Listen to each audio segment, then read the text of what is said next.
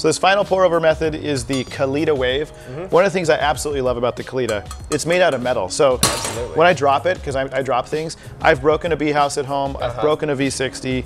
This one feels pretty indestructible, and like something It's- I could take camping. I do take it camping um, because I took a Chemex one year and it did not- not survive the trip. Yeah. Um, so Donate that to the Sierra National Forest. So Exactly. uh, this one has three very small holes.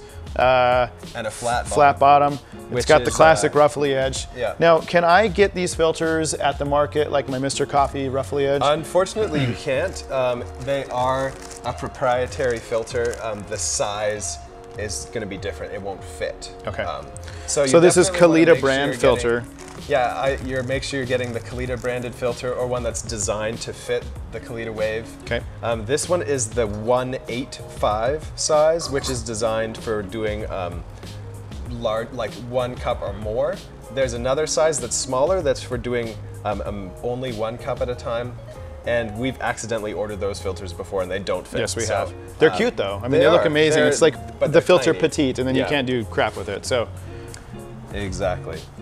Now, with the Kalita Wave, um, you can actually get away with not pre-rinsing the filter because um, they are made so well that they have almost no paper taste at all. I still like to pre-rinse um, just because I'm a fan of it, and it helps me to kind of get everything warmed up, get my cup. and it warm. also will seal the filter against the uh, the brewer, which is kind of nice as well. Definitely, yeah, it won't fall out or kind of shift. And I'm using my same basic recipe that I have for pretty much all the other pour overs. I'm using 20 grams of coffee and 300 total grams of coffee, or sorry, water. Water, And I'm using the same grind setting. which is number 12 on the Baratza Encore. All right, so my coffee is done grinding. I'm just gonna go ahead and toss that straight in the filter and give it a little shake to level out so I have a nice flat surface to start with. And I'm gonna start my timer and bloom my coffee with about 30 grams of water. So I feel like I've heard this story before. Let me guess: 30 grams, 100 grams, 200 grams, 300 grams. Am I right? You 30 are, second increments. You are spot on. Man, Um, it's, it's almost like I've done this before. The Kalita is especially um, forgiving as well with kind of uh, beginners to pour over. It doesn't require um, a very fine-tuned pouring technique. Um, the V60, which we covered in a previous video, really requires that you pour very carefully. Um, the Kalita is a little bit more forgiving. Um, but with that in mind, I still want to pour carefully. And so after the bloom, I'm gonna add, like Nate said, up to 100 grams of water. And I'm using my same kind of spiral pouring technique. I like to start in the middle and then kind of work my way out to the edges, but avoiding pouring on the paper. And for those of you Instagram fanatics, taking an up above shot of the Kalita is just super killer. It you can really check it out on our Instagram page because we're sort of killer Yeah, I and mean, fanatics maybe or something. part way. We're something. We're definitely something. We like coffee. That is true. Yep. And so I've added my second pour of water up to 200 grams. Once my timer reach, reaches about a minute and a half, I'm gonna add my final 100 grams of water to bring the total up to 300 grams.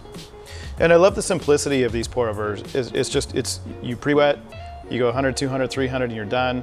Um, again, first thing in the morning, there's not a lot I can, I can do mentally. And so this is a recipe that I can follow as I'm stumbling around the kitchen in the dark. So, um, so this is, these pour over methods are not nearly as, as intimidating as they might sound. Um, and you're getting a killer brew method, a killer cup of coffee um, at the fraction of the cost and time at stopping at your local cafe. Very true. Unless you want to stop at our cafe, and then you're okay to do that. But yeah, I mean, definitely. you're welcome. We, we want you here. It's true.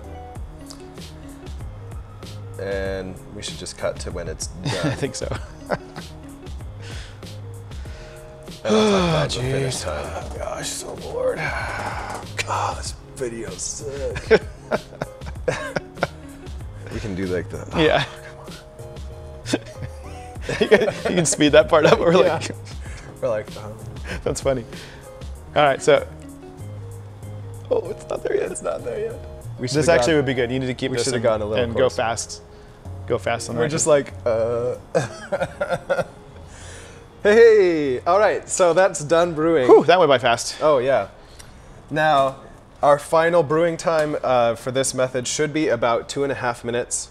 Um, so you can always kind of fine tune your grind setting. If it's going a little bit long, you want to grind coarser, etc., um, to, to compensate. So we, we our brew time was about two minutes and 48 seconds ish Ish. at a grind setting of 12. We're targeting about two and a half. So we might want to loosen that up to maybe a 13 next time Mm-hmm. And that would probably try.